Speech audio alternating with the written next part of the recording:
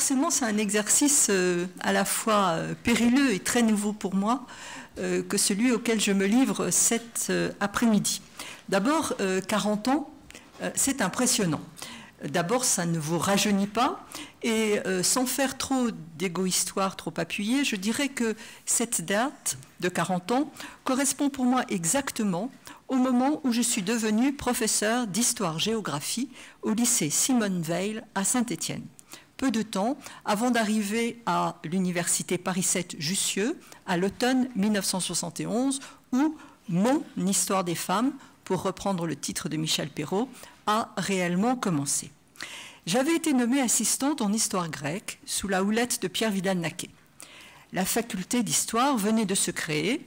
C'était un laboratoire formidable d'idées et d'expériences pédagogiques porté par un climat d'ébullition politique très favorable à la remise en cause de toutes les certitudes, un lieu d'apprentissage extraordinaire pour une jeune génération d'enseignants mis à contribution pour toutes sortes de tâches par des aînés qui leur faisaient confiance. Très vite s'est imposée au sein du groupe des historiens la nécessité de faire des enseignements thématiques qui pourraient casser le vieux quadripartisme, antiquité, Moyen Âge, moderne et contemporaine. Quadripartisme qui paraissait d'autant plus désuet qu'une bonne partie des enseignants-chercheurs travaillaient sur l'histoire du tiers-monde. Plusieurs thèmes ont été proposés dès la rentrée 1973, parmi eux l'histoire des marginaux et l'histoire des femmes. Michel Perrault a raconté ailleurs, dans Les femmes ou les silences de l'histoire, un livre qui est paru en 1998, Michel a donc raconté comment la décision avait été prise de créer un cours ayant pour thème Les femmes ont-elles une histoire?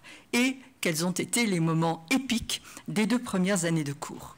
Je me souviens pour ma part de la réunion des historiens où Michel Perrault s'est tourné vers Fabienne Bock, assistante en histoire contemporaine, et moi, assistante en histoire grecque, et nous a demandé Vous êtes partante? Le groupe des enseignantes était formé et le travail en commun commençait. C'était l'automne 1973. Rarement les barrières ont paru plus minces entre une vie quotidienne faite de revendications, de manifestations et de luttes pour obtenir nos droits, et Jussieu, lieu d'apprentissage et de diffusion du savoir, dont le parvis était transformé dans ces années-là, en une vaste caisse de résonance de bien d'autres slogans politiques. Nous n'étions pas vraiment sur le parvis, mais dans des amphithéâtres bondés et enfumés, et dans les pièces plus exiguës des séminaires. Nous n'avions pas le sentiment du tout de détenir un savoir, mais plutôt celui d'apprendre sans cesse, nous passions des heures dans des livres austères de démographie historique pour sortir désespérés de n'avoir pas trouvé un paragraphe de synthèse sur la mortalité des femmes en couche à l'époque moderne. Il nous fallait fabriquer nous-mêmes nos documents de réflexion, nous découpions les articles dans les journaux et nous les commentions à chaud dans le prochain groupe de travaux dirigés, passant par exemple d'une enquête de Claude Dugrand-Rue les femmes transformeront-elles le monde du travail dans le monde du 21 novembre 1973 à la résolution du ministère de l'Éducation nationale qui voulait organiser des stages de formation professionnelle pour les femmes de 30 à 40 ans, je cite, désirant reprendre un emploi après l'interruption due aux obligations maternelles. Le Monde de mars 74. Nous lisions et travaillions sur Le harem et les cousins de Germaine Tillon une semaine, La cause des femmes de Gisèle Halimi la semaine suivante. Nous décortiquions au fil de la semaine la chronique de Pierre Viançon-Ponté dans Le Monde qui comparait le 20 janvier 74 sous le titre Deux femmes, le sort de Alice C. de la Ferrière aux étangs, 36 ans, 10 enfants, qui, après avoir dissimulé le corps de sa mère morte sous le plancher de sa cabane, est dénoncé par une pétition de 25 habitants du village de Lorne et part en prison. Et il, euh, comparait ce sort-là et le sort d'une américaine surnommée Pandora, diplômée de psychologie, qui venait de créer un nouveau job très lucratif, l'assistante sexuelle. Et le journaliste concluait à deux univers séparés par des millions d'années-lumière. Voilà. Nos provinces d'origine, l'histoire ancienne, l'histoire contemporaine, et nos spécialités étaient sans importance, oubliées. Il y avait mieux à faire et le contemporain avait la première place. nous placardions des affiches représentant une jeune femme coupée en deux, une moitié en tablier et bigoudi et l'autre moitié en jupe sexy et frisette, une main soulevant un marmot, une casserole et une cuillère, et l'autre tenant un téléphone, un bloc-notes et un crayon, sous le slogan Double journée, demi-salaire, y en a marre.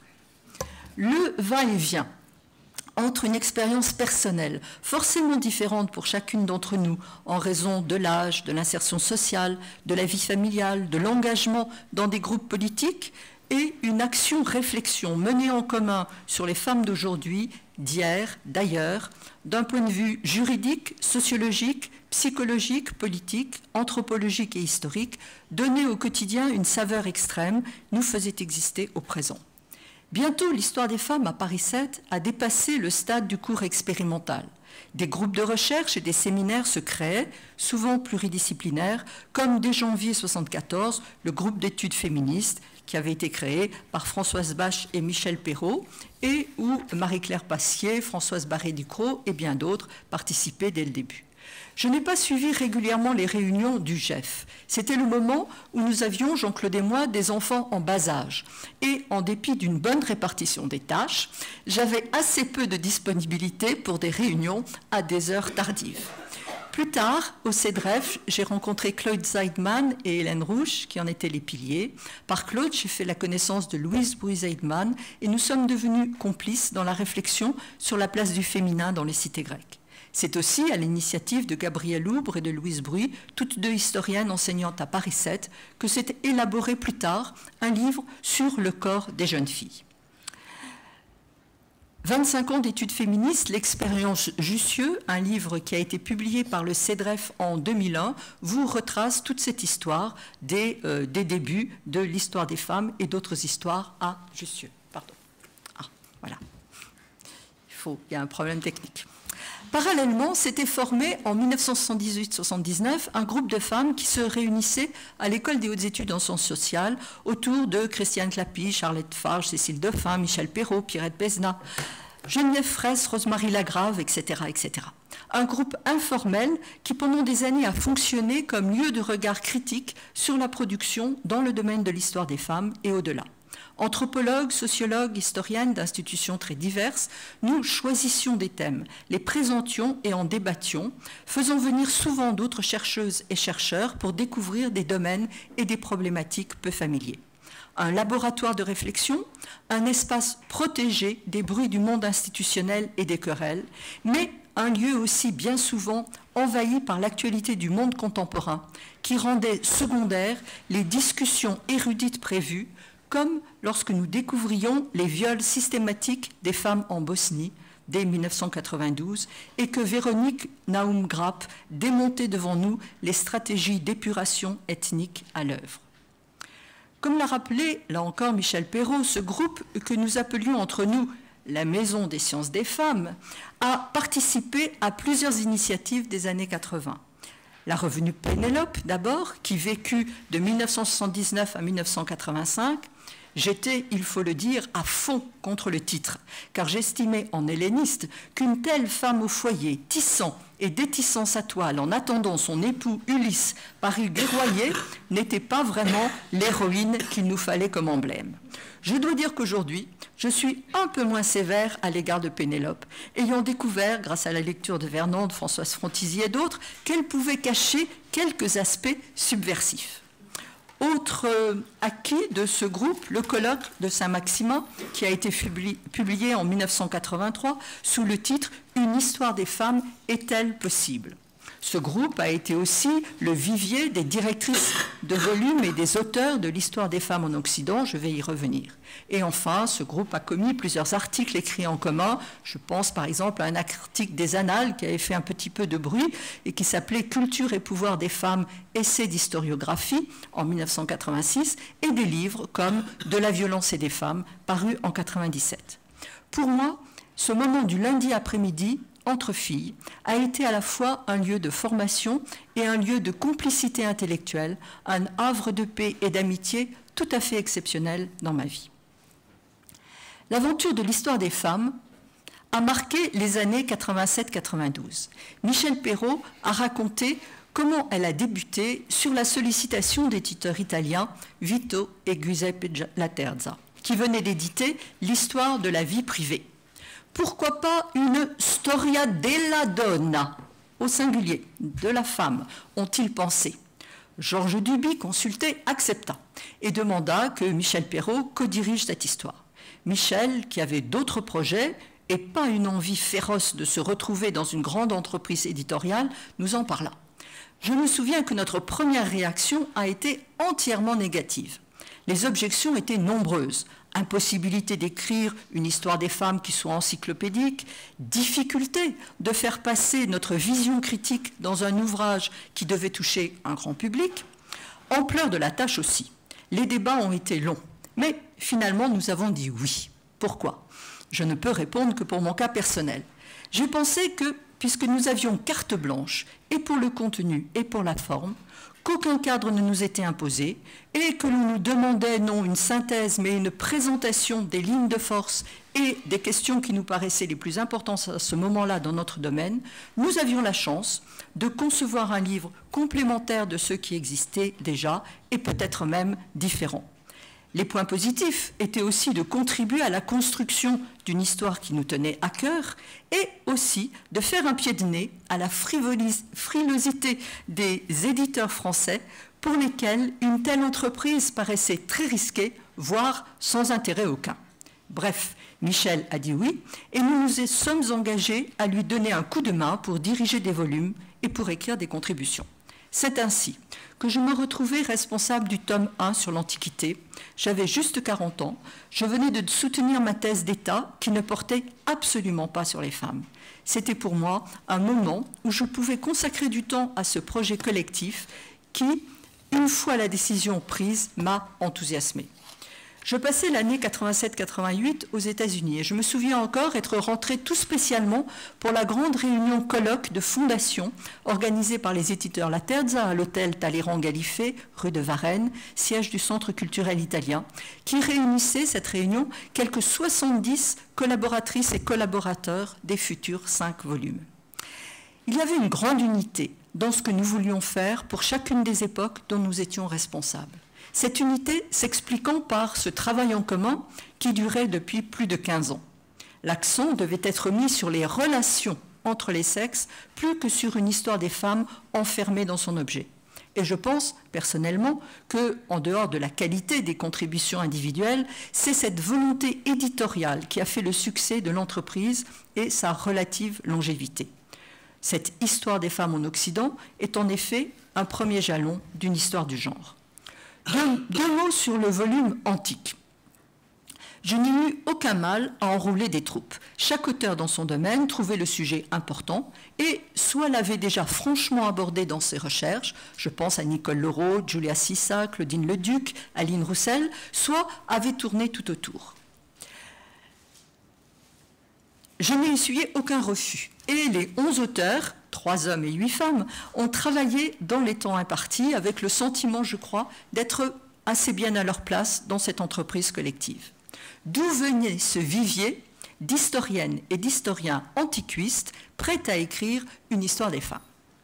Un détour par le centre de recherche en histoire ancienne dont je fais partie est désormais nécessaire. Ma province est en effet le monde grec antique. Et dans ce cadre aussi, j'avais trouvé un lieu de païdéia, d'éducation, à mon arrivée à Paris en 1970, après des études à Lyon. Je suivais les séminaires de Pierre Vidal-Naquet, de Jean-Pierre Vernon, et je fis connaissance avec un lieu intellectuel, le Centre de recherche comparée sur les sociétés anciennes, qui allait devenir le Centre Louis Gernet, hébergé dans un trois pièces placard rue Monsieur le Prince. L'histoire des femmes n'était certes pas un thème affiché, mais l'histoire des représentations et surtout l'analyse des mythes rencontraient constamment la question des fonctions, des pratiques et des discours attribués à chaque sexe.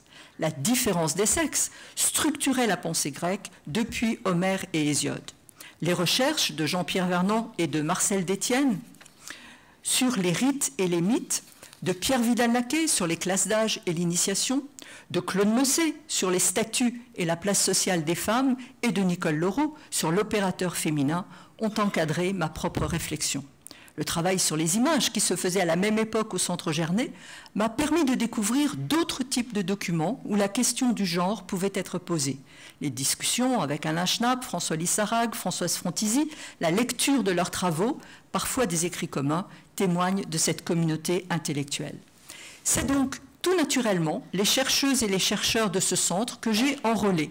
Et nous avons survécu à l'épreuve de la rédaction d'un livre collectif en demeurant amis. Des auteurs de ce livre, Nicole Leroux et Yann Thomas, ne sont plus parmi nous. Les livres qu'ils ont écrits témoignent de la manière singulière dont ils ont renouvelé les domaines de l'histoire, histoire grecque pour Nicole et histoire romaine pour Yann. Les pistes explorées dans le livre forment dans l'ensemble le socle de recherche ultérieure prolongé par les mêmes auteurs ou renouvelé par une nouvelle génération d'hellénistes et de romanistes qui travaillent sur le genre.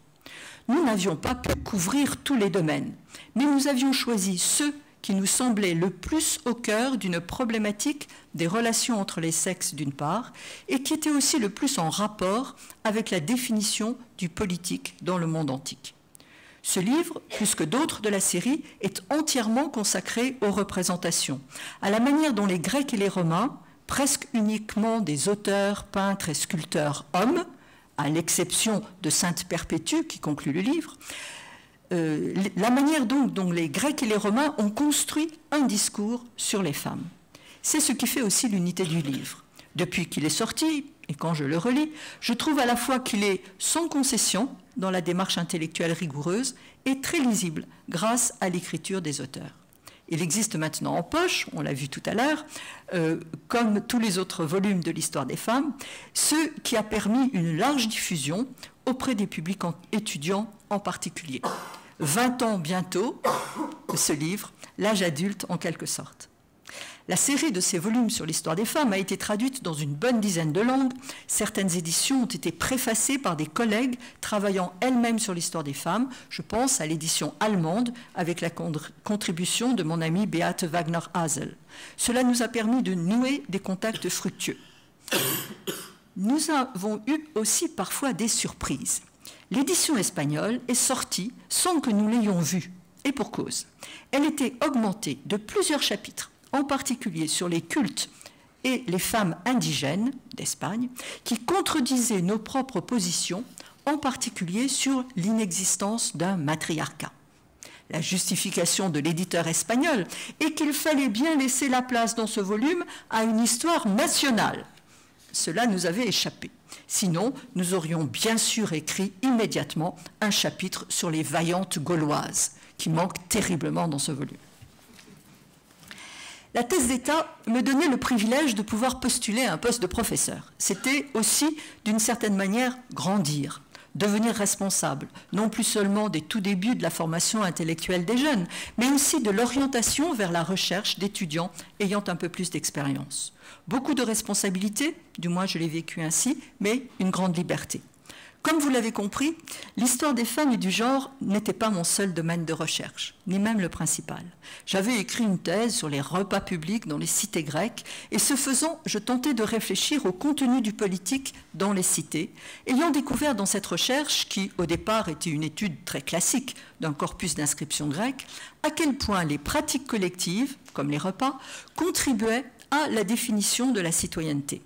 En même temps, je m'initiais aux nouvelles approches du polythéisme grec, lecture des mythes, fonction des rituels, étude des panthéons, en suivant les séminaires de Vernon et de Détienne et d'autres, et, étant enseignante, je tentais de faire passer tout cela autour d'un public étudiant, auprès d'un public étudiant, peu préparé à lire un article bourré de mots grecs pour comprendre l'importance des espaces féminins et masculins dans la représentation des dieux, comme le fameux article Estia Hermès de Vernon, ou poursuivre les aventures croisées d'Athéna et de Poséidon dans une étude structurale du panthéon grec. Aussi, avec Louise Bruy, nous avons écrit alors un manuel qui n'était qu'une introduction aux lectures nouvelles du polythéisme, La religion grecque, dont la première édition est parue en 1989. Et plus tard, je me suis dit qu'il fallait aussi peut-être toucher le public des enfants, ou voir le public de leurs parents ou de leurs grands-parents. Et euh, j'ai écrit un petit livre qui s'appelle Dieu et déesse de la Grèce expliquée aux enfants, voilà, euh, Dieu et déesse de la Grèce expliquée aux enfants, où j'essaye de montrer aux enfants que les déesses étaient tout aussi importantes que les dieux. Et euh, ce petit livre euh, m'a permis de voir à quel point le monde de l'édition était encore rétif à l'égalité entre les sexes à propos de la couverture. Si vous voulez, je répondrai à vos questions là-dessus tout à l'heure. J'ai donc écrit une bonne vingtaine d'articles sur les femmes et le genre et fait un certain nombre de conférences au fil des années qui sont maintenant devenues un livre, Aïtra et Pandora, qui est publié dans la collection de la Bibliothèque du féminisme chez L'Armatan pour une raison précise. C'est la participation au mouvement des femmes des années 70 qui m'a donné envie de réfléchir à la manière dont se construit et s'écrit l'histoire des femmes de participer à un enseignement en ce domaine, puis de mener des recherches sur le monde antique. Ces pages relèvent donc, de mon point de vue, d'une démarche dont n'est pas absent l'engagement dans le temps présent.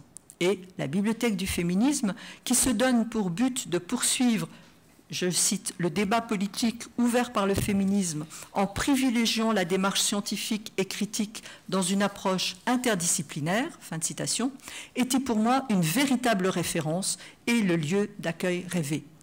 Qu'Hélène Rouche ait accepté d'héberger ce livre dans cette collection que dirigent maintenant, sans Hélène, Auristel Bonny et Dominique Fougerolas est pour moi extrêmement important. Altra et Pandora est donc la présentation de 30 années de recherche sur les femmes et le genre. Dès les années 70, j'étais convaincue que la différence des sexes, je ne parlais pas encore de genre, était une dimension essentielle de la société de l'imaginaire grec. Qu'il fallait décrire les effets qu'une telle structure sociale et idéologique produisait à tous les plans de la vie civique et en faire une lecture politique.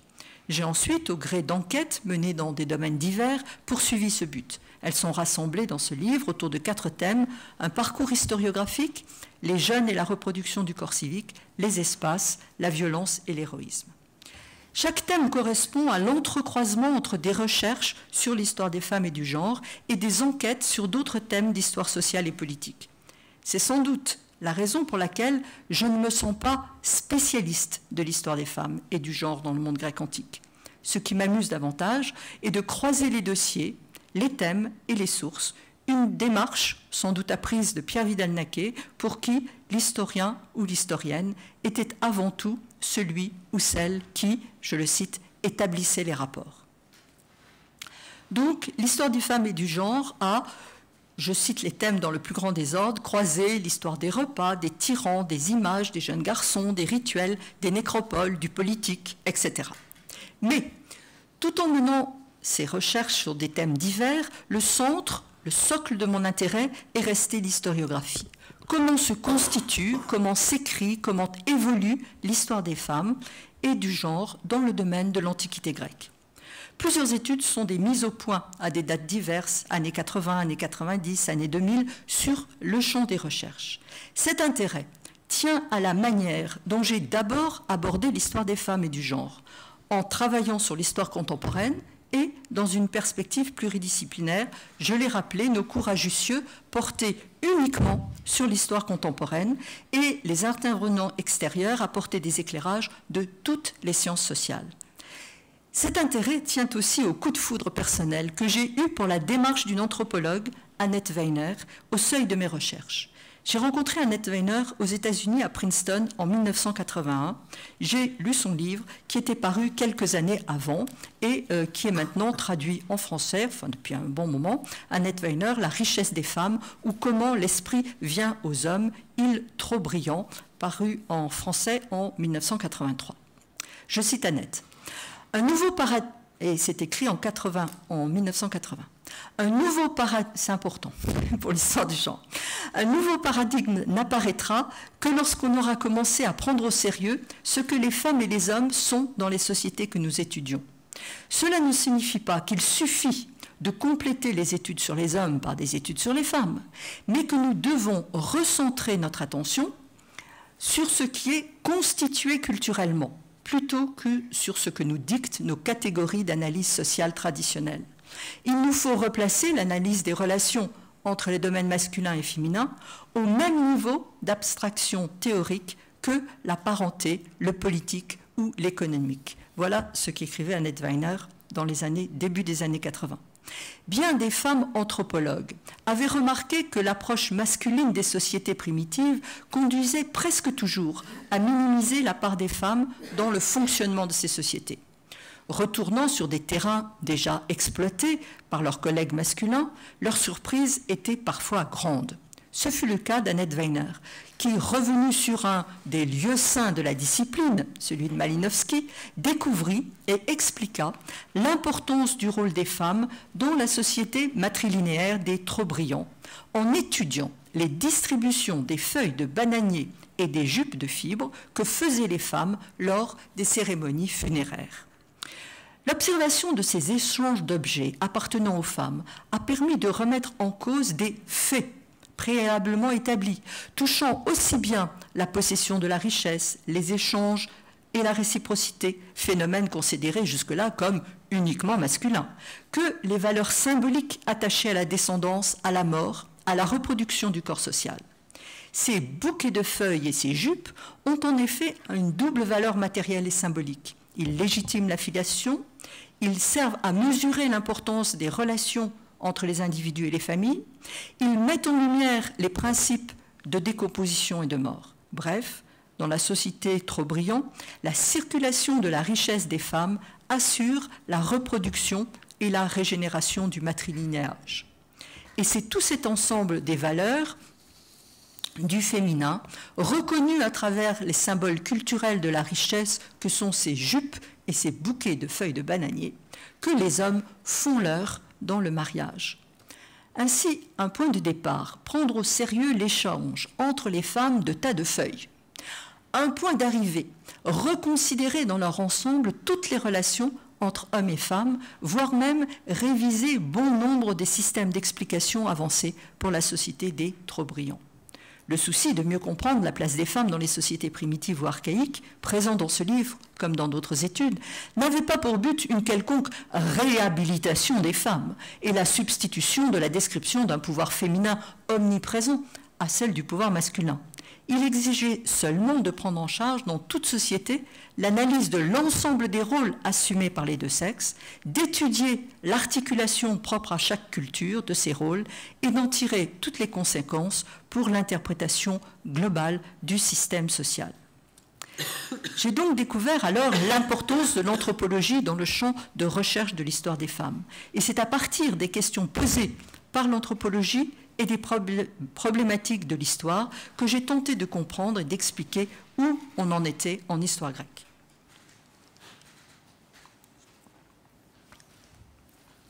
En histoire, mais pas en histoire ancienne à cette époque. En effet, en histoire, la démarche était semblable. Et là, je cite Arlette Fage dans un écrit de 1979. Je la cite. Une histoire des femmes qui serait celle de ces victoires méconnues et de ces humiliations trop connues ne m'intéresse pas vraiment. Je ne veux pas à nouveau d'une mémoire tronquée sous prétexte que le temps est venu m'attacher uniquement à écrire l'histoire des femmes. Ce qui devient non seulement fascinant mais urgent, c'est de prendre le champ historique dans son entier, sans le restreindre au domaine féminin, en l'interrogeant autrement, faisant ressortir chaque fois qu'il est possible la division sexuelle des rôles. C'est justement sur ce partage entre le masculin et le féminin que le silence de l'histoire s'est abusivement fait. Fin de citation d'Arlette Farge. Dans les années 70 en histoire, les études sur les femmes ont connu un cheminement semblable à celui de l'anthropologie. En traitant la société comme une collectivité masculine, les historiens ont toujours donné une dimension sexuée à l'histoire. Mais elle était univoque, puisque fondée sur le déni des femmes. C'est la dimension bisexuée de l'histoire qui fut la découverte de ces années-là. Les raisons scientifiques, pour ne rien dire des raisons idéologiques, de cette longue orientation de l'historiographie ont tenu aux problématiques de l'histoire dominante, positivisme et marxisme, et aux domaines privilégiés par les historiens depuis les années 30, démographie historique et histoire sérielle. L'histoire anthropologique et le regain d'intérêt pour l'histoire des mentalités ont préparé un terrain favorable à la prise en charge par l'histoire de l'analyse des rôles sexuels. Mais c'est l'explosion du mouvement féministe qui a provoqué bien des remises en cause en formulant l'exigence d'une recherche et d'une production militante. Écrire Histoire des femmes était alors une contribution à la prise de conscience du mouvement des femmes contemporains et ce fut une première étape nécessaire.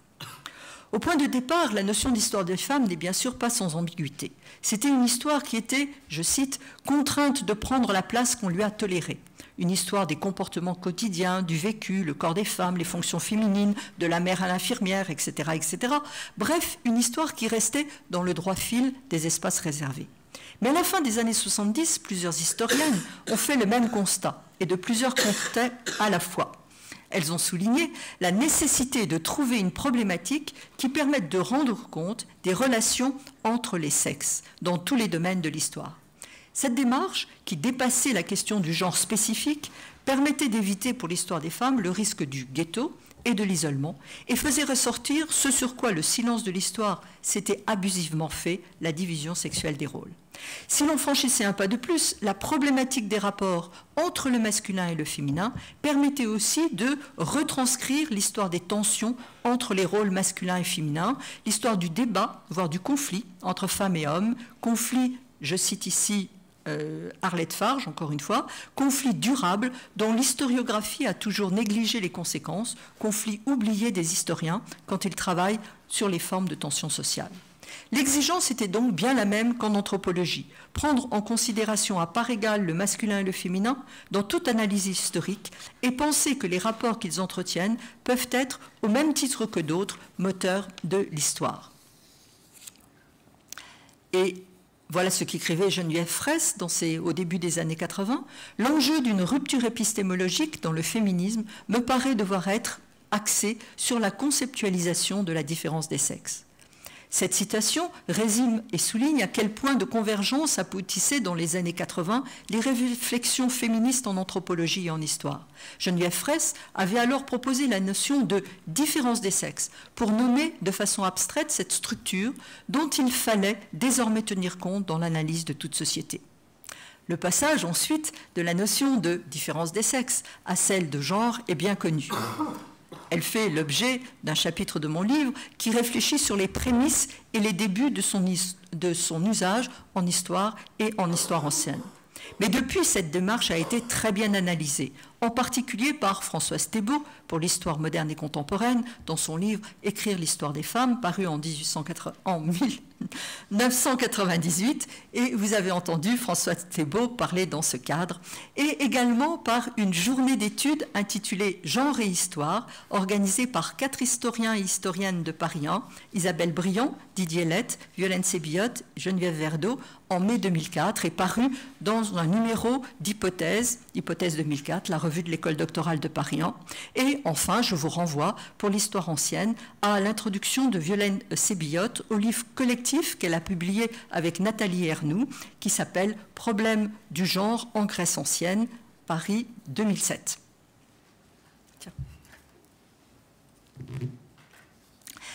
Je laisse maintenant l'historiographie, qui pour moi, et vous le voyez, est importante, pour revenir sur euh, quelques exemples quelques exemples, bien sûr, qui, euh, sont, qui se trouvent dans l'histoire ancienne, l'histoire grecque. Euh, premier thème qui m'a beaucoup intéressé, le thème des jeunes et de la cité, des jeunes garçons et des jeunes filles. La beauté et l'incomplétude de leur corps en témoignent, les jeunes filles doivent se marier pour devenir mères, et les jeunes garçons doivent également entrer dans le groupe des citoyens et procréer des fils légitimes. La cité, veille, la cité grecque bien sûr, hein. très ancienne, euh, la cité grecque veille au respect de ces normes, comme le montre l'histoire qui est racontée dans ce livre d'Aïtra, jeune fille de Trézène, future mère de Thésée, le roi légendaire d'Athènes, ou l'histoire, racontée aussi là, des jeunes fils de citoyens de Corcyre, aujourd'hui Corfou. Le refus du mariage peut prendre aussi la forme de l'adultère, là encore cité la cité d'Issalois. Et en arrière-fond de ces discours sur le corps, sur les mythes, de ces histoires et de ces rituels infamants, se dit l'anxiété de la communauté civique sur son devenir, son souci de voir se perpétrer la communauté en un temps où la citoyenneté ne se transmet que par la naissance. Les jeunes, les classes d'âge, dans leur rapport au genre. Pierre Vidlanaquet est pour beaucoup, bien sûr, dans mon intérêt pour ce thème. Et je me souviens avoir plongé dans l'histoire de la jeune Aïtra, mère de Thésée, parce que le chasseur noir, titre du livre de Pierre Vidal-Naquet à Athènes, me paraissait trop exclusivement masculin. Et avoir autant d'une jeunesse un peu impertinente, avoir fait remarquer à Vernon, je cite ce qu'il cite lui-même, dans la manière dont tu as mené tes enquêtes, tu as toujours eu un point de vue absolument androcentrique. J'avais un petit peu de culot à l'époque. Bon. Euh, euh, les, jeunes garçons, euh, les jeunes garçons envoyés par exemple par le tyran de Corinthe, les jeunes garçons de Corcyre, envoyés par le tyran de Corinthe pour devenir des eunuques à la cour de Aliat en, en, Lydie, à l'époque, lorsque j'ai écrit cet article, ce qui m'intéressait, c'était l'attitude du tyran et pas tellement la perspective du genre. La cohérence dans la démarche que l'on peut écrire que l'on peut décrire plus tard n'est pas toujours celle euh, qui est à l'origine d'une recherche particulière, mais tant pis, euh, tout, tant mieux plutôt. Une recherche est donc contingente et elle dépend des questions que l'on est capable de se poser à un moment donné.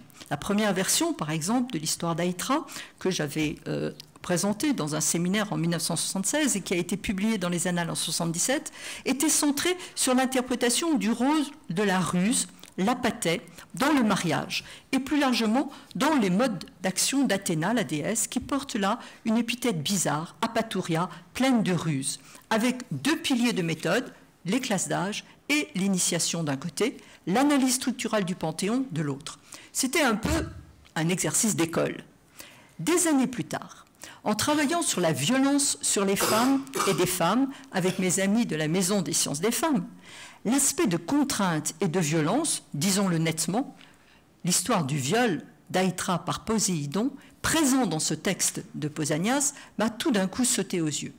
Et je me souviens très bien que devant faire un topo à l'Université du Québec devant des étudiants qui travaillaient sur la violence, j'ai ajouté cette interprétation de l'histoire. J'ai donc découvert que, en fait, Aïtra, dans cette histoire, avait été violée par Poséidon. Or, comment était née notre réflexion commune sur la violence dans les rapports de sexe? En raison de la guerre en Bosnie et de l'épuration ethnique qui était à l'œuvre dès 91-92. Les soldats violaient les femmes pour qu'elles portent des enfants d'une autre race. Voilà. Cet exemple rend modeste. Un regard neuf sur un texte peut apporter un éclairage complètement différent l'espace intérieur, la maison, avec la cuisine ou la chambre, si bien maintenant euh, décrite par euh, Michel Perrault dans son dernier livre, ou la chambre où tout se passe, y compris la toilette du mort, l'espace extérieur, le village, avec le lavoir au lieu de la sociabilité féminine et le cimetière. Ces espaces étaient à la fois concrets, ceux de la vie quotidienne des femmes, et abstraits, ceux qui construisent les représentations du féminin autour en particulier des pouvoirs des femmes. Des gestes et des propos de bonnes femmes surgissaient un nouveau domaine de recherche qui, après les modifications normales dues à l'évolution des problématiques au cours des années, est devenu aujourd'hui l'histoire du genre. Décrire, étudier, donner toute leur signification aux espaces des femmes a donc été une des premières tâches de l'histoire des femmes, au point de provoquer parfois une pointe d'agacement devant la description d'une culture féminine qui semblait trop statique. Et ce thème des espaces demeure d'actualité. J'en veux pour preuve la publication d'un livre collectif intitulé Le genre des territoires sous la direction de Christine Barr, ou le colloque qui s'est tenu à Bâle sur le thème Espace et genre dans l'Antiquité en 2004. Euh, Espace et pouvoir, nous sommes bien là au cœur de la problématique de l'histoire du genre. Faire l'inventaire des lieux de vie des femmes grecques, de leurs espaces propres, s'est donc avéré nécessaire pour dépasser d'abord cette image d'un autre âge de la femme au gynécée, image construite par un 19e siècle très occupé à problématiser les séparations entre le domaine public et les domaines privés. C'est un scoop, le gynécée n'a jamais existé. Il était temps de faire un pas de plus dans la perspective d'une histoire du genre.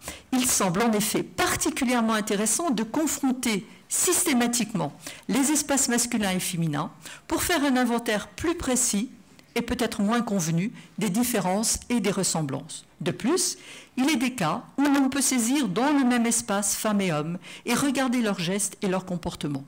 Cette observation permet parfois de remettre en cause des dichotomies ou des oppositions que l'on croyait assurées, mais qui relevaient un peu trop de stéréotypes véhiculés par notre propre culture sur la différence des sexes. Mes études ont ainsi porté sur différents espaces, le cimetière, la maison, le sanctuaire, le banquet. Les espaces dans les cités sont, nous dit-on, très genrés. Les femmes au dedans, les hommes au dehors. Le thalamus, la chambre pour les femmes, l'agora pour les hommes. L'intérêt est alors de repérer les transgressions de ce, de ce partage. Pardon. Quand les femmes prennent part au repas public, comme les hommes, quand les hommes prennent soin des statues de Dieu, comme les femmes, quand les femmes sont enterrées avec des armes et d'autres objets résolument masculins.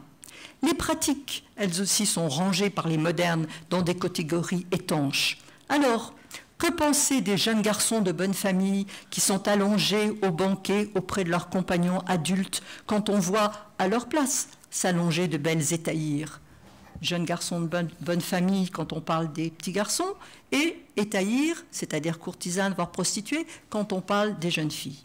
Nos interprétations sont souvent dictées par des habitudes de pensée qui nous sont familières et qui sont familières à des siècles d'historiographie et qui pourtant n'ont guère de pertinence pour l'étude du monde grec. C'est en tout cas ce que j'ai essayé de montrer. Le troisième thème qui m'a intéressé est celui de l'héroïsme. L'héroïsme qu'il s'exprime de façon violente et donc à l'opposé de ce que l'on attend d'une nature féminine ou de façon passive et plus dans les normes des cités grecques.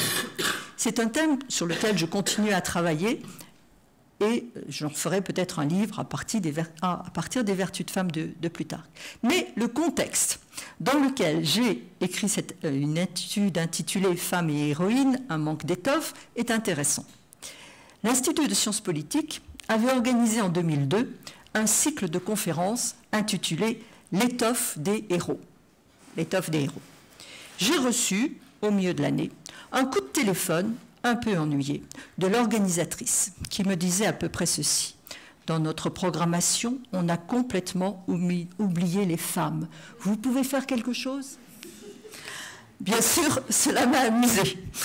Pas vraiment étonné qu'en 2002, à Sciences Politiques, encore, les femmes n'aient pas d'étoffe. Et j'ai tenté de comprendre pourquoi.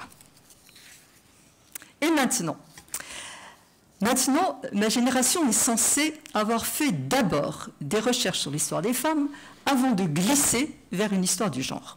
C'est une description commode pour repérer une évolution, ce dont les historiens sont toujours friands. Mais c'est une description inexacte.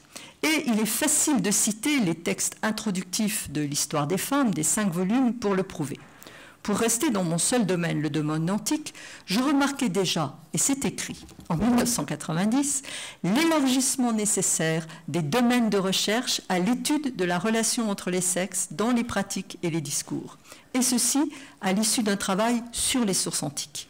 La théorisation de la notion de gender par John Scott et d'autres est venue donner une assise plus solide et mieux formulée à cette volonté de donner une place à l'histoire des femmes dans les processus sociaux, économiques et politiques et les formes de pensée, mais la recherche en France avait fort bien préparé le terrain, me semble-t-il. Nul doute que la nouvelle génération d'historiennes et d'historiens, qui est directement tombée dans le chaudron genre, comme Astérix, sans passer par les étapes antérieures, de militantisme et d'histoire des femmes, met incité à tenter de confronter cette forme particulière de construction sociale qu'est le genre à la définition du politique grec, soit à la constitution d'une identité civique. Alors, tout le monde n'est pas peut-être familier avec cette euh, définition du genre, donc je, dis ce que j'entends par genre, et qu'on entend par genre en général quand on est euh, historienne et historien aujourd'hui. J'entends par genre la classification sociale et culturelle, le plus souvent hiérarchisée, entre masculin et féminin. Le genre est donc une catégorie sociale construite dans un contexte culturel particulier et dans un but qui lui aussi ne peut se comprendre que dans un contexte historique précis. Voilà ce que c'est que le genre. Redonne, la définition, s'il te plaît. la définition, elle est, connue par tout le monde. Ah, mais je te, la donnerai. non, non, non, c'est important. Bon, c'est une classification. Le, terme de genre, c'est une classification sociale et culturelle. Voilà. Bon, et donc on peut, il faut écouter, étudier cette classification sociale et culturelle à côté d'autres formes de classification sociale et culturelle des sociétés. Il faut en faire la synthèse, voir les comparaisons et naturellement voir comment tout cela fonctionne dans le domaine politique. Bon.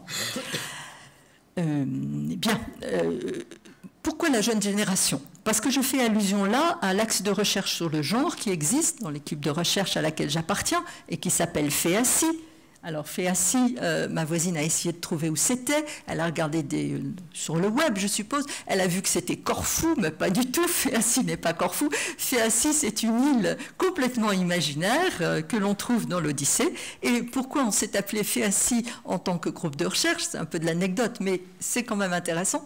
C'est qu'on a fondé cette, équipe de recherche euh, en 2000 et entre, on était entre nous, il y avait, enfin à droite et à gauche de notre équipe de recherche il y avait deux mastodontes. L'un qui s'appelait le centre Louis Gernet, très, très connu, Vernon Vidal, etc. Et l'autre, le centre Glotz, très connu, Nicolet et compagnie. Tout ça, c'est des centres d'histoire ancienne. Bon. Et nous, notre petite équipe Féassi, on l'a appelé Féassi. Pourquoi? Parce que Féassi, dans euh, l'histoire de l'Odyssée, c'est une île qui marque le passage entre le monde réel et le monde imaginaire. Voilà. Et euh, Ulysse aborde à Féassi, et une fois qu'il est passé à Fiessi, il en a fini de ses histoires avec les lotophages, avec les cyclopes, etc. Il va re-rentrer dans le monde réel et il va enfin retrouver sa chère Pénélope. Alors nous, ça nous a amusé de s'appeler Féassi parce que, en tant que jeune équipe, on trouvait qu'on n'était pas si mal comme ça entre le monde imaginaire de Gernet et le monde très réel de Glotz. Alors, la fin de l'histoire, c'est que ces trois mondes vont fusionner et qu'en janvier 2010, il n'y aura plus de Féassi, plus de Glotz, plus de Gernet, mais une seule grande équipe auquel on peut souhaiter euh, longue vie. Voilà. Bon, alors, euh, j'explique FEACI. Euh, dans cette équipe FEACI, il y a un axe de recherche sur le genre, axe de recherche qui est animé par Violaine Sébillotte, et cet axe de recherche a donc donné le livre que l'on vous a montré tout à l'heure avec Nathalie Ernoux, Problème du genre en Grèce ancienne. Et c'est dans ce cadre-là que je continue mes réflexions très aidées et très poussées par, par toutes mes jeunes collègues sur le, le genre et le politique. J'ai donc eu récemment l'occasion de mener cette confrontation entre genre et politique en travaillant sur euh, les mœurs des dirigeants athéniens au 5e siècle. Alors, ils sont là. Tiens, si tu veux les montrer. Euh, donc, en travaillant sur les mœurs des dirigeants athéniens au 5e siècle, dans un livre qui s'appelle Homme illustre, Mœurs et politique à Athènes au 5e siècle. Le vrai titre, c'est Mœurs et politique à Athènes au 5e siècle. Homme illustre, c'est le titre de la directrice de collection. Il s'agit dans ce livre de voir en quoi la description des mœurs au sens général des manières de se comporter, aide à la construction de la figure politique du personnage. L'éducation, le rapport au Dieu, la richesse, la générosité, l'attitude vis-à-vis de l'Assemblée, la manière de mourir, sont autant de facettes des mœurs. Les relations entre les sexes, un domaine plus large que celui de la seule vie sexuelle, bien évidemment, également. Et ce thème donne lieu à une réflexion, chez Plutarque et ailleurs, à la fois sur la nature des comportements, du plus vulgaire au plus noble, sur la tempérance, de l'excès à la modération, une évolution qui suit généralement le cours de la vie de chaque individu. On est excessif quand on est jeune, on devient tempérant quand on est vieux. Et sur la valeur comparée des relations entre hommes d'un côté, entre hommes et femmes de l'autre. J'ai donc étudié la vie de six personnages principaux des hommes d'Athènes au 5e siècle, Aristide, Thémistocle, Simon, Périclès, Alcibiade Nicias, la source principale étant Plutarque. Et dans les vies de ces hommes, de façon parallèle et simultanée, j'ai regardé les relations entre les hommes d'une part et entre les hommes et les femmes d'autre part. Et en fait, l'histoire de ces hommes illustres m'a permis d'écrire plusieurs chapitres d'histoire du genre. En effet, les relations entre les hommes d'une part, par exemple Thémistocle et Aristide, qui tombent tous les deux fous amoureux d'un beau jeune homme, Stésiléos, et les relations entre les femmes et les hommes d'autre part. Par exemple, Périclès, répudiant son épouse pour vivre avec une courtisane du nom d'Aspasie dans les vies, ces relations pourraient donner une image somme toute assez équilibrée de l'importance du masculin et du féminin dans la constitution d'une identité de citoyen. Toutefois, et c'est important, la relation entre les hommes dans le domaine de l'éros est valorisée par rapport à celle qui existe entre les hommes et les femmes. C'est la relation entre hommes, pour les Grecs du 5e siècle, qui forge les qualités nécessaires à la vie publique, tant par la forme d'un attachement qu'elle suscite que par la rivalité qu'elle provoque, et c'est elle qui est comparable au jeu politique. Le désir et la séduction qui entrent alors en jeu sont de même nature, nous disent les Grecs, que la charisme politique. Alcibiade séduit le peuple d'Athènes, le démos, comme il séduit ses amants. Thémistocle et Aristide vont leur vie durant être rivaux en politique comme ils l'étaient en amour. Cette traduction politique à plusieurs niveaux d'un comportement sexuel n'a pas son équivalent dans les relations entre hommes et femmes. L'amour que Périclès porte à Aspasie ne construit pas son image de dirigeant politique. Il faut bien sûr rappeler aussi, mais chacun le sait ici, que ces histoires sont écrites par des hommes. Le point de vue est toujours celui de l'homme et plus particulièrement du citoyen. La construction d'une identité de genre au 5e siècle à Athènes n'échappe pas à l'omniprésence d'un discours masculin. Ah, je pas faire une bêtise. Avant de conclure, mais pas tout de suite, euh, je voudrais dire deux mots de, de ce qui m'a occupé quand même beaucoup pendant ces 40 ans. Pas seulement la recherche, mais l'enseignement. L'enseignement, bien évidemment, euh, histoire des femmes, histoire du genre. Un pan entier de ces 40 années euh, a été consacré à, l'enseignement. J'en dis juste deux mots rapides, parce que pour moi c'est très important. C'est, vous l'avez vu, en tentant d'enseigner l'histoire des femmes avec Michel Perrault et Fabienne Bock, que j'ai découvert la nécessité de mener des recherches en ce domaine où presque tout était à faire.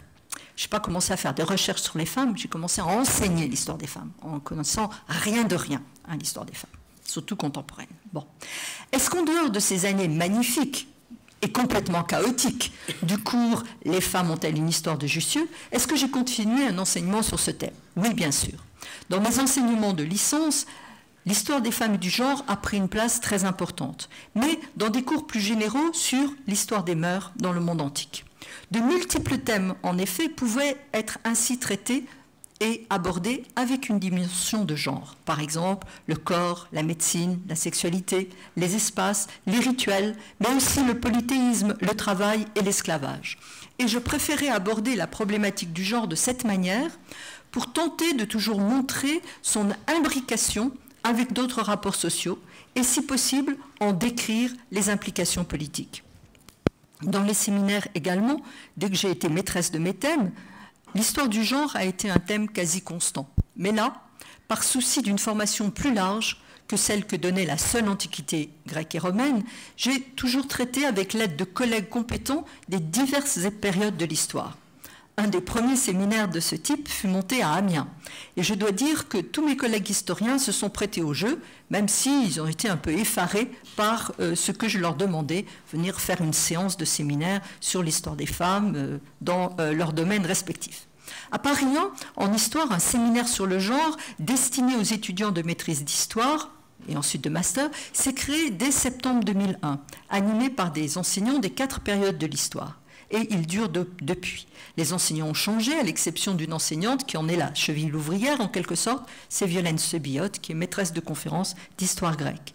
Elle-même a présenté un premier bilan de ce travail pédagogique dans un livre collectif issu d'un colloque du Ring qui s'appelle Le genre comme catégorie d'analyse. Et ce séminaire donne une formation théorique et générale aux étudiants de Paris 1 qui mènent par ailleurs des recherches sur des domaines et des thèmes très différents d'histoire du genre. Il joue donc un rôle fédérateur important. Mais il manquait à Paris 1 ce que j'avais eu la chance de connaître dès le début à Paris 7, la confrontation avec d'autres disciplines. Une initiative prise en 2008 l'a rendu possible. un colloque et une exposition sur les femmes criminelles ont eu lieu en mars 2008 à Paris. Ce colloque, organisé de façon pluridisciplinaire par des enseignants appartenant à diverses disciplines, droit, économie, lettres, art plastique, histoire de l'art, histoire. Ce colloque donc de deux jours portait sur un sujet pas très politiquement correct, les femmes criminelles. Et on nous l'a beaucoup reproché. Pourquoi parlez-vous des femmes criminelles? Il n'y a pas d'autres sujets plus intéressants à, monter pour, euh, dans une perspective féministe. Mais non, les femmes criminelles, c'est aussi important. Bon, euh, ce colloque de deux jours, donc, est actuellement sous presse. Mais il avait été accompagné d'une exposition qui avait été inaugurée le 8 mars, bien évidemment, 2008, à l'INHA, et de la publication d'un livre catalogue qu'on vient de vous montrer, édité aux éditions Autrement, sur la direction de Myriam Tsikonas, et qui s'appelle, ce livre catalogue, Éternel coupable. Cette exposition, qui était euh, faite sur des panneaux très mobiles, tourne depuis, depuis mars 2008, à travers toute la France, et nous donne ainsi l'occasion d'aller un peu partout présenter un travail pluridisciplinaire et collectif. Entre parenthèses, pour nous, ça a été la première euh, occasion de travailler euh, vraiment de façon très, très concrète et très suivie avec des juristes. Euh, en général, nos collègues juristes n'étaient pas très ouverts à, la problématique d'histoire des femmes et d'histoire du genre, mais voilà, c'est en train de changer doucement. Depuis, et dans le sillage de cette initiative, un axe de recherche transversal sur le genre s'est créé et un séminaire pluridisciplinaire qui s'appelle Le genre à Paris quelle perspective a débuté, ouvert aux étudiants de master et de doctorants. Donc vous voyez, euh, même à Paris Panthéon-Sorbonne, l'histoire du genre commence à euh, pointer dans la pluridisciplinarité. Elle existait avant, mais nous n'arrivions pas, à nous fédérer. Et c'est d'ailleurs de se rencontrer à l'Institut Émilie du Châtelet dans euh, le même euh, conseil scientifique qui a fait que tout d'un coup on s'est dit on pourrait peut-être faire des choses ensemble. Comme quoi. Bon. Alors, cet enseignement que je mène depuis pas mal d'années, se double, dans la mesure du possible, d'un effort pour expliquer dans des cadres divers l'intérêt de ce champ d'études d'histoire des femmes et d'histoire du genre. Et la rencontre de publics extrêmement variés me permet de garder les pieds sur terre et de constater avec le sourire qu'il faudra bien plus que 40 années d'histoire des femmes et du genre pour faire admettre que les Amazones n'ont peut-être pas existé en particulier lorsque je, fais des, euh, je vais faire des conférences quelquefois devant des clubs du troisième âge. Bon. Euh, je voudrais terminer, dont je fais partie maintenant. Euh, je voudrais terminer en rappelant une évidence pour nous tous et nous toutes ici. On ne s'engage pas dans des recherches et un enseignement sur l'histoire des femmes comme on plonge dans l'histoire des fleurs et des senteurs.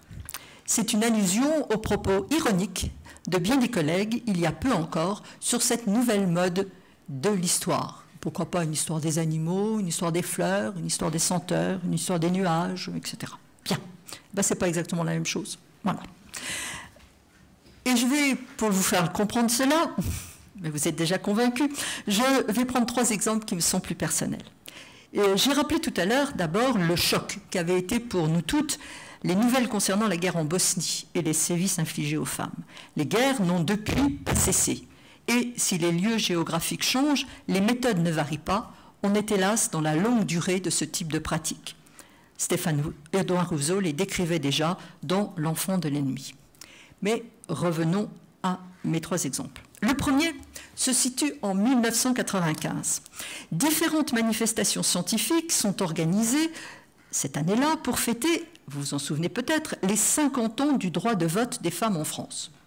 La DRAC de Picardie et la délégation régionale aux droits des, femmes de Picardie toujours décident d'organiser une journée de réflexion sur le thème Droit et pouvoir des femmes de l'Antiquité à nos jours à Amiens le 24 mars 1995.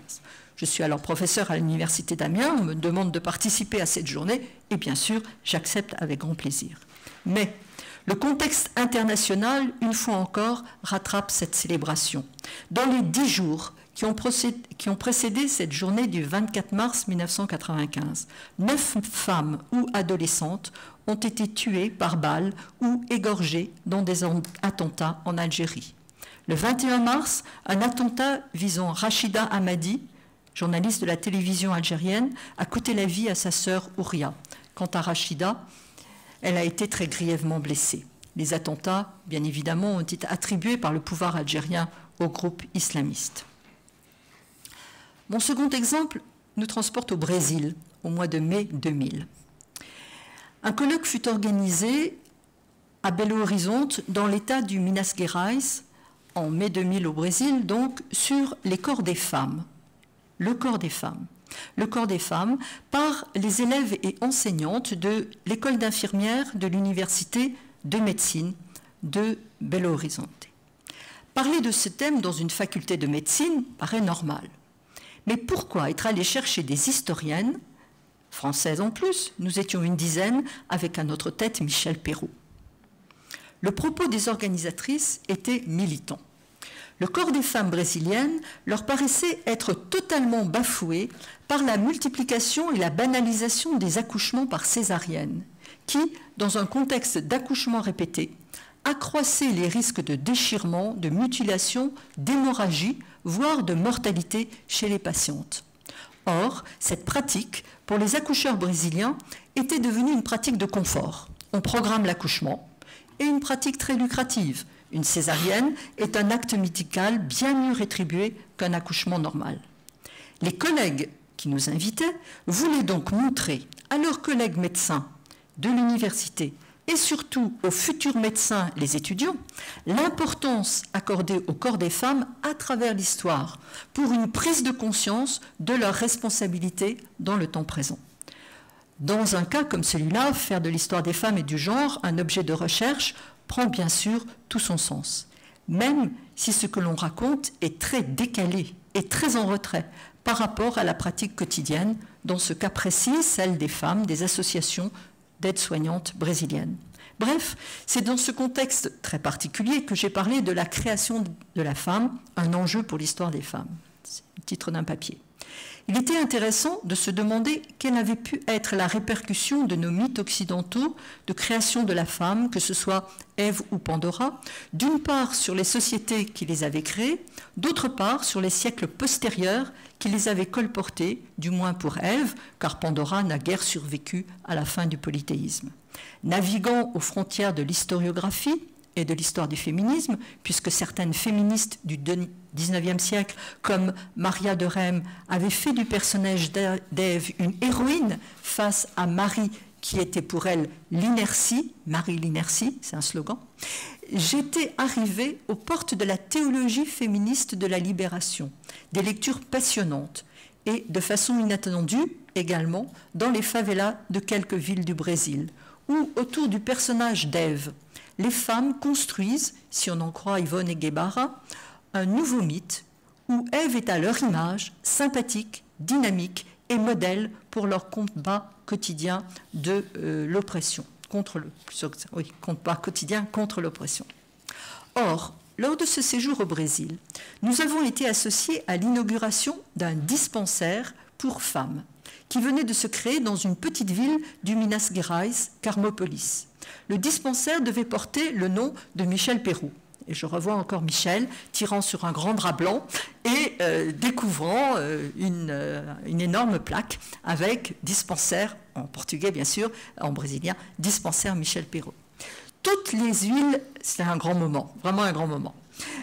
toutes les huiles locales étaient présentes. Et parmi elles, parmi ces huiles locales, un Indien d'Amazonie. On est au Minas Gerais, hein, ce n'est pas tout à fait l'Amazonie. La politique gouvernementale d'alors consistait à essayer d'acclimater des communautés d'Indiens dans d'autres régions du Brésil après les avoir transplantés en partie contre leur gré. Bref, le chef du village était là en grande tenue, c'est-à-dire, alors que c'était l'hiver, brésilien en pagne, torse nu, avec une grande coiffure de plumes, des dessins sur le visage et un collier en dents de léopard présence d'un exotisme sans doute voulu par les autorités, mais quand même un peu étrange à nos yeux. La cérémonie battait son plein quand il s'avança pour prendre la parole. Nous ne comprenions pas la teneur de ses propos, mais la véhémence avec laquelle il les prononçait ne faisait aucun doute. C'était un discours de revendication politique. La manière dont il fut traité confirma nos soupçons. Il fut immédiatement entraîné hors de la salle par quelques hommes musclés et nous ne le revîmes plus. Entre nous, ensuite, nous nous sommes souvent, revenus sur cet épisode. Nous étions pleines d'admiration pour la politique de la municipalité qui faisait droit aux demandes répétées des femmes d'avoir un lieu de soins qui leur soit consacré, où leurs problèmes de santé, de contrôle des naissances, de violences de toutes sortes soient pris en charge. Mais finalement, une réalisation aussi importante pour les femmes cachait bien d'autres défaillances de l'État, en particulier la non-assistance à peuple en danger de disparition, les Indiens d'Amazonie. C'était donc une victoire au goût amer, goût que nous n'aurions pas ressenti si cet Indien en costume n'était pas venu dire bien haut ses droits aux grandes dames des autorités. Et je crois me souvenir que Michel Perrault a réussi, dans son discours de remerciement, à glisser un mot qui exprimait notre perplexité. Le troisième exemple est une expérience très récente. Elle date de la semaine dernière. Nous étions réunis à Lille euh, pour un colloque sur les femmes et la guerre dans l'Antiquité, premier colloque d'un réseau européen qui se constitue sur les gender studies dans l'Antiquité. Le colloque était intéressant, avec une confrontation des approches des littéraires et des historiennes, deux discours souvent imperméables l'un à l'autre, des romanistes et des hellénistes, qui sont généralement peu en phase sur la question du genre, des sources textuelles et iconographiques. Bref, de quoi mener une discussion scientifique de bon niveau et même l'espoir d'avoir posé un petit nombre de questions nouvelles à nos si vieux documents. Le jeudi soir, un collègue de Lausanne nous projeta des extraits de Péplum, où la guerre antique était bien là. Troy, Alexander, Spartacus, sous ces différentes techniques reconstituées à grands coups d'effets spéciaux. Et je vous recommande le duel de Bucéphale, le cheval d'Alexandre, et de l'éléphant quelque part sur les bords de l'Indus. C'est un grand moment d'histoire militaire. Mais de femmes, point. C'était quand même le sujet du colloque. Sinon, l'entrée de la traîtresse Hélène fort belle sur le char de Paris à Troyes, ou les pleurs d'Andromaque devant la mort programmée d'Hector. Bon. Il valait donc mieux rester à l'écoute des Thébaines d'Échille, les sept contre Thèbes, ou des Troyennes d'Euripide, voire des femmes des élégies romaines, pour entendre et comprendre des voix de femmes bien sûr toujours écrites et mises en scène par des hommes, parlant de la guerre. Mais quelle que soit la beauté de ces textes antiques, l'émotion était lointaine. Mais vendredi soir, des étudiantes de master de lettres classiques avaient préparé un spectacle intitulé Guerre contemporaine, voix de femmes. C'était un montage de textes qu'elles avaient fait, de textes écrits par des femmes en guerre, soit soldats, soit témoins, soit victimes. Un grand nombre d'extraits venaient du livre de Svetlana Alexievitch, La guerre n'a pas un visage de femme. Des textes lus par l'une puis l'autre, toutes vêtues de noir, simplement, sans décor, un accordéon jouant quelques mesures quand l'émotion était trop forte. Une blessure, un abandon, une torture, la noyade d'un enfant qui pleure et fait trop de bruit, la mort, la fin de la guerre. Nous étions toutes sans voix. Nous ne pensions bien sûr plus à nos femmes antiques sur les remparts, mais, à nos mères, à nos grands-mères, à nos arrière-grands-mères qui ont connu la guerre. Et le lendemain, le colloque avait pris un autre visage. C'est sans doute ce constant euh, va-et-vient entre des expériences personnelles, la recherche et l'enseignement qui donne tant de saveur à ces 40 années avec le secret espoir de voir la génération de nos filles prendre maintenant la relève, différemment bien sûr, mais avec quelque part ce même sentiment d'évidence. Je vous remercie.